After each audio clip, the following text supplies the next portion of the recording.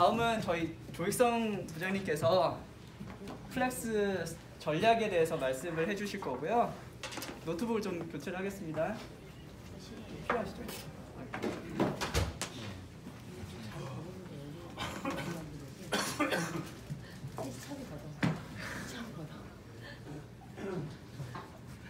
마이크 뭐 목소리도 그럼.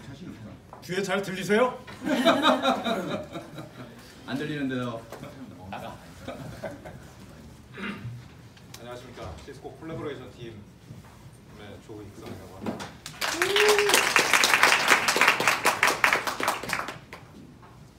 앞으로 한 50분 정도 얘기를 할 건데 무슨 얘기를 할 거냐면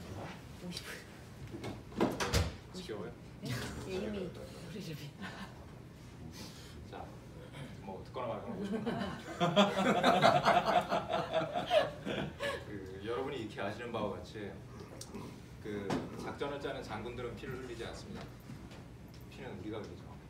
자, 그래서 앞에서 이제 여러 가지 좋은 말씀들을 해주셨는데 이제 전략적인 측면의 얘기고 실제로 우리가 주어진 무기들 시스코가 개발해서 우리한테 주어진 무기들을 어떻게 파지하고 적의 어디를 노려야 숨통을 끊을 수 있는지 실전 전투에서 사용할 수 있는 기술들 그리고 여러 가지 전술들 그런 측면까지 아울러서 한번 바라보도록 하겠습니다. 경험이 좀 쌓였다는 얘기예요 이게. 자, 보십시다. Cisco가 지금 현재 여러분께 드릴 수 있는 가장 강력한 무기가 Webex Meeting과 Webex Teams입니다. 그럼 이게 뭔지를 일단 정확하게 이해를 하셔야 돼요. 지금 현재 우리한테 주어진 무기들 중에서 지금 당장 여러분이 매출을 채울 수 있는 가장 좋은 프로덕트는 이겁니다. 가장. 여러분들이 올해에 매출을 채울 수 있는 거는 이걸로 가셔야 돼요. 익히 우리들 다 알고 있는 얘기죠. 이 장비들 가지고 올해 매출 채워야 됩니다. 그럼 내년부터의 매출은 무엇으로 채워야 되냐? 이것과 함께 채워야 내년부터 편하게 가실 수가 있어요. 그게 바로 Webex Meeting과 Webex Teams예요. 제가 간단하게 설명을 해드릴게요. Webex Meeting, Webex Teams 헷갈리시는 분들 되게 많아요. 저는 여러분들과 다 얘기를 나눠봤잖아요. 고객이 Webex를 사면 Webex Teams를 사면 Webex Meeting이 따라갑니다. Webex Meeting을 사셔도 Webex Teams가 따라가요. 즉 Webex Meeting과 Teams는 형태가 다를 뿐이지 결국은 하나의 product.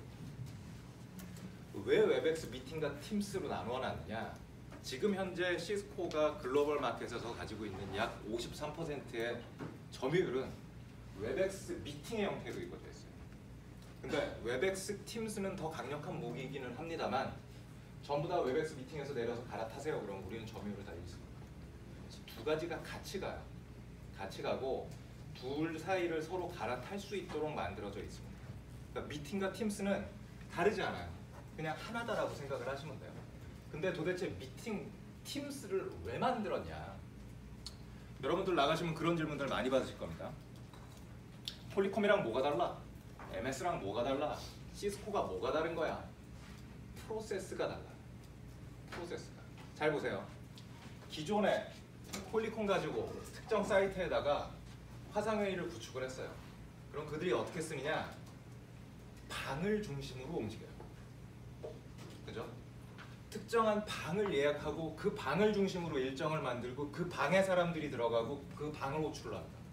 그게 기존의 방식이에요. 시스코도 마찬가지였고 구 텐드버그도 마찬가지입니다. 근데 웹엑스랑 결합을 하게 되면서 뭐가 바뀌느냐면 이제부터는 모든 게 사람을 중심으로 바뀌어요. 모든 게 사람을 따라다닙니다. 그 사람이 그 공간에 있으면 그 장비가 내 거가 되고 그 장비와 상관없이 나의 일정에 따라서 움직여요. 그게 가장 다른 겁니다.